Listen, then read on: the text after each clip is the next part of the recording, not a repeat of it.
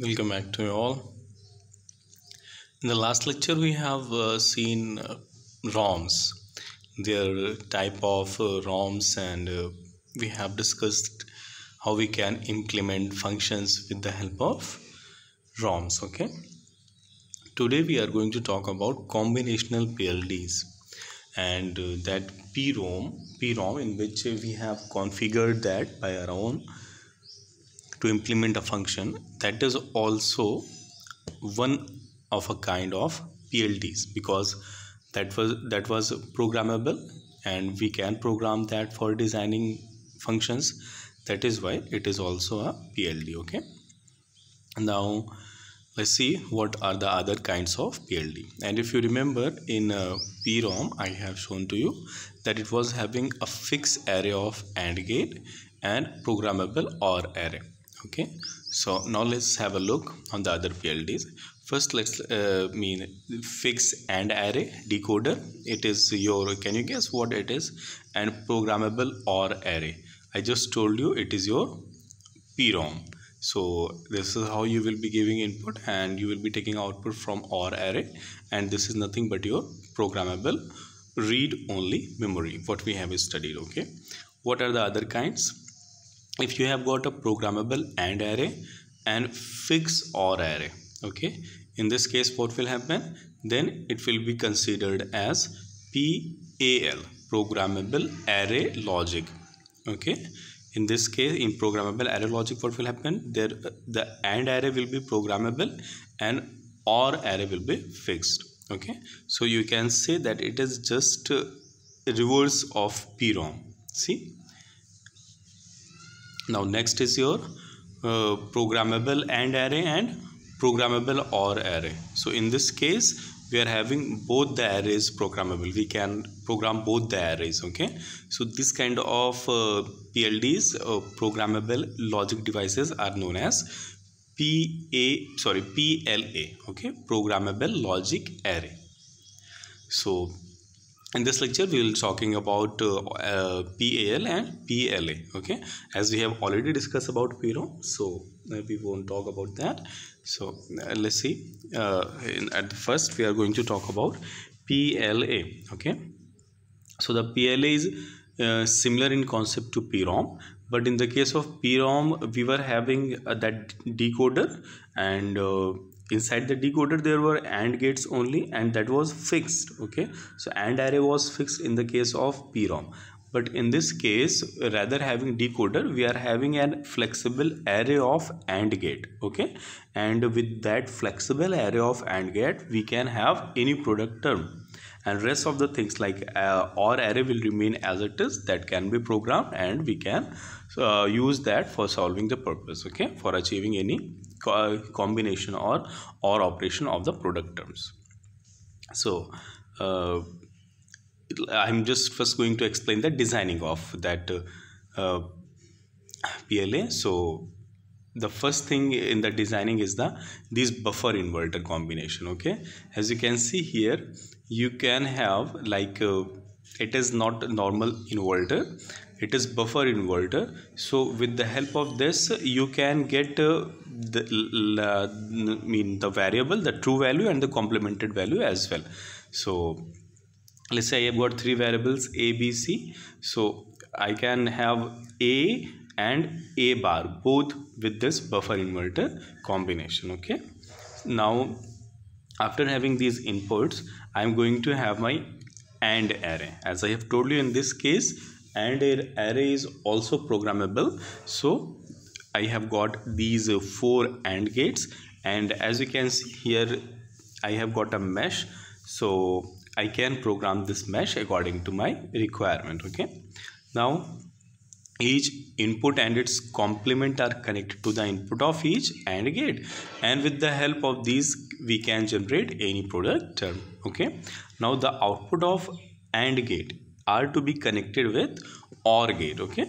See the output of uh, connected with the OR gate and with the connections or making appropriate connections we can add or perform OR operation of any of the product term okay?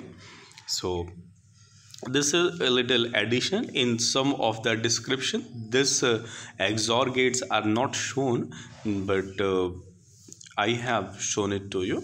So you can go through that. That's very easy. I mean uh, the purpose of these XOR gate is to get uh, the true value or complemented value. In some cases what happens that uh, we want the complemented value of the function. So we will use that. Let's see how. See here. The output of OR gates goes to an XOR gate where the other input of the XOR gates are connected to 0 or 1 or may be connected to 0 or 1 okay? If you want the true value of the function then you have to connect the other value other input of XOR by 0 and if you want the complement of the function then you have to connect the other input of XOR by 1 you can refer the description I have written here the output inverted when the XOR input is connected to 1 okay see you can solve this uh, you can prove this logic also that's very easy. So here i have made this additional connection like if i want to connect the input of my uh, one input of my xor by 0 then i will select uh, the first row. And if i want to connect my input uh, my output with uh, uh, that one then i will choose the second row okay? So now let's talk about the implementation using PLA that's very easy. First uh, proceed um, before proceeding to the implementation first we have to define the size of PLA okay? So how it will be defined? There is there are something you uh, mean some important uh, like you can say as a mean consideration for defining the size of the PLA first is number of input variables. Okay with the help of number uh, uh, input variables you will define the total number of buffer inverter you want. Okay let's say if you you have got a function which is uh, having three distinct variable. Okay in that case how many uh, buffer inverter you need? Three simple. Okay now total number of distinct product terms. That is something important in the case of PLA you have to refer the total number of distinct product term as in this case if you refer f1 and f2 so f1 is uh, f1 and f2 both are having a term common that ac is common in both of them na? so total distinct uh, uh, product terms are 4 in this case actual product terms are 5 but as uh, AC is common to both the function that is why total distinct uh, uh, product terms are 4 and from that uh, product terms we will define the required number of AND gates. Okay?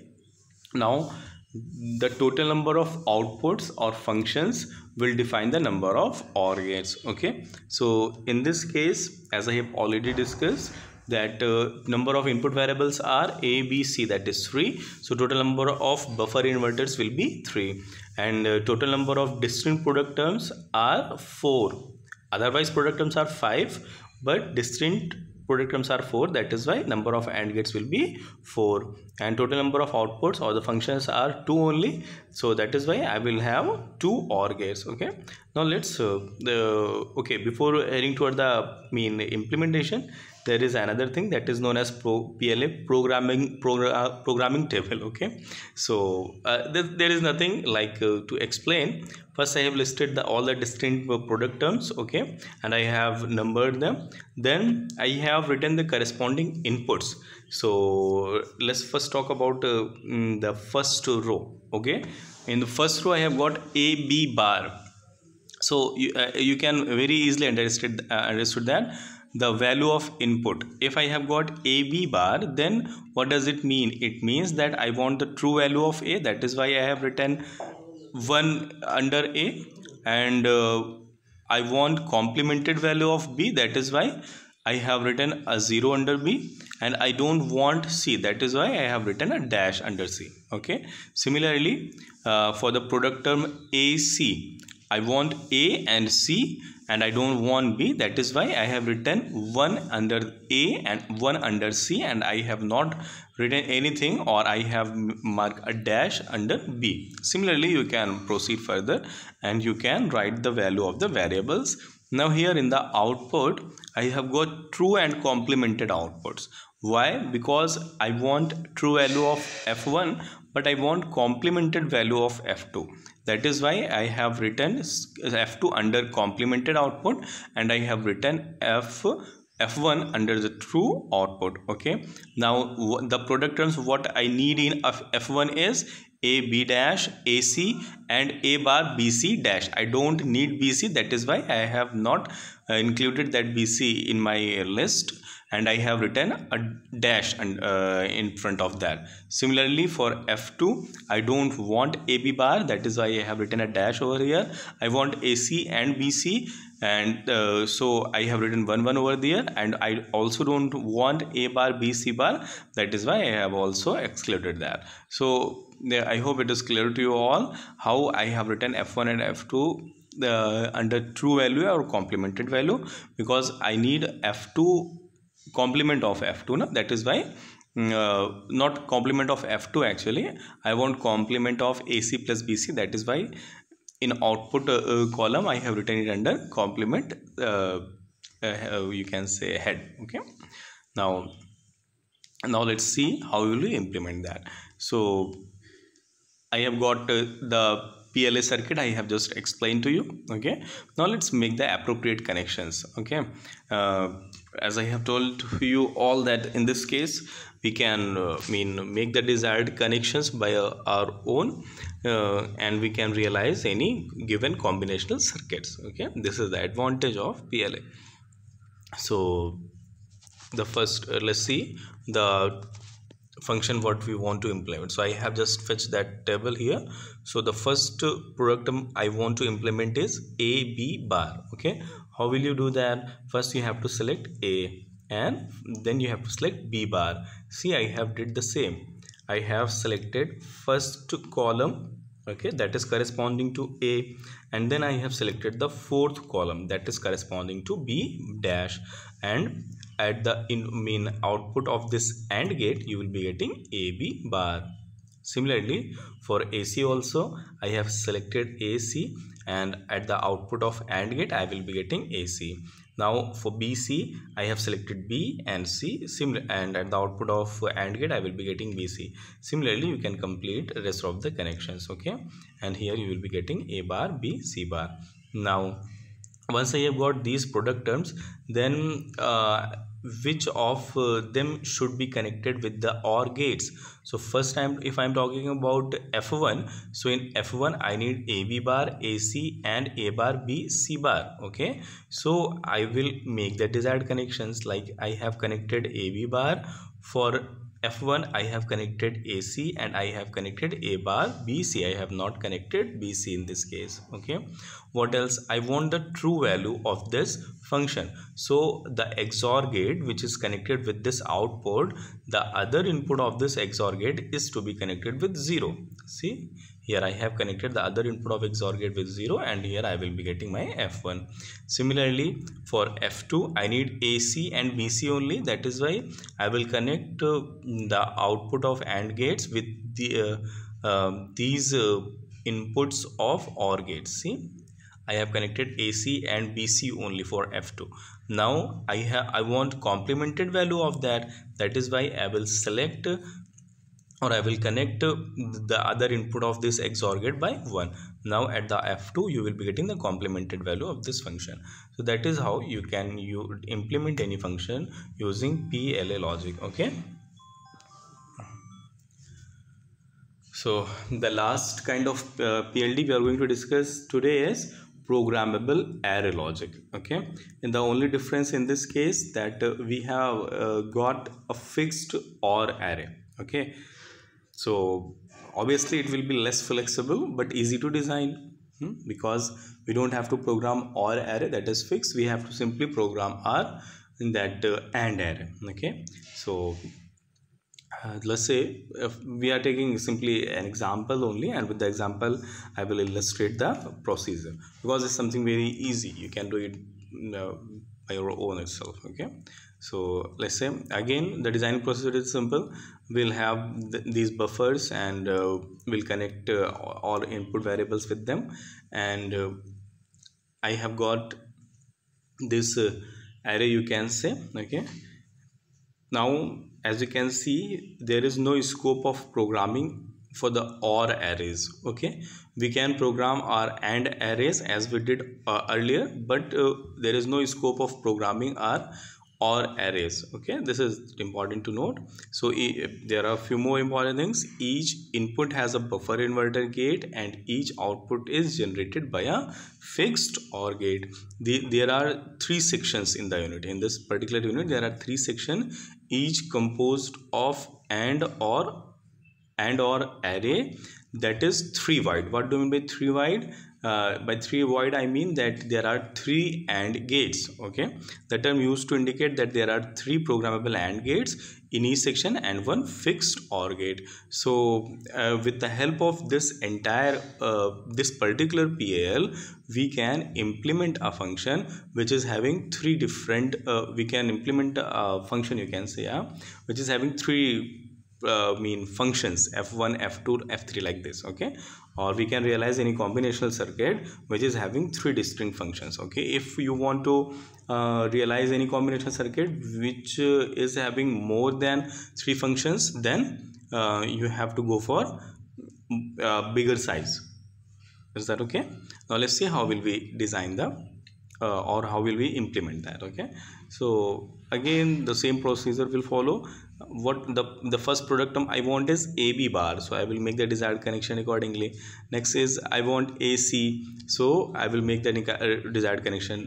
Next i want a bar b c bar. That is how i made that connection also. So now these all are already connected to the input of or gate. So the output of or gate will represent, represent you f1 similarly if you want ac and bc then i have made the connections for a and c. And this output of this AND gate will be giving you product of these two or AC. Similarly for BC I have connected B and C and the output of this OR gate uh, sorry AND gate will give you BC. Now in this case these arrays are fixed or the choice of AND gates are also fixed number of all AND gates are also fixed so although we are not going to use this AND gate okay but we can't remove that so it will remain as it is but will just for representation I put a cross here that I am not using this AND gate and the output of this uh, OR gate will give you the function F2. Furthermore, this F3 is also not or not F3. This uh, third OR gate is not also not used here because we have got only two functions. That is why I will put a cross over there also. This is how you have realized the function using OR sorry PAL.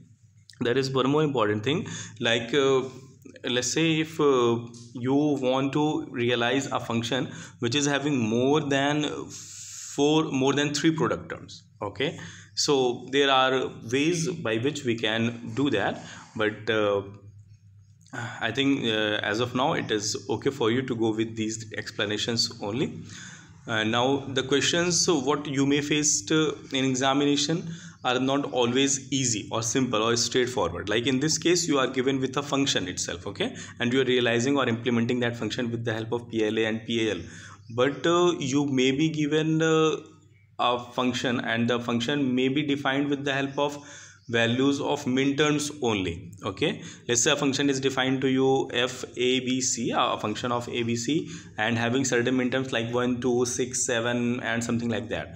Then how will you implement that? For implementing that you have to find the boolean expression. And how will you find the boolean expression from the given set of minterms by simply going through the k map okay? So you have to remember i mean you don't have to forget the combinational uh, logics what you have stud studied as of now. So if you remember that those things then you can do these things very easily.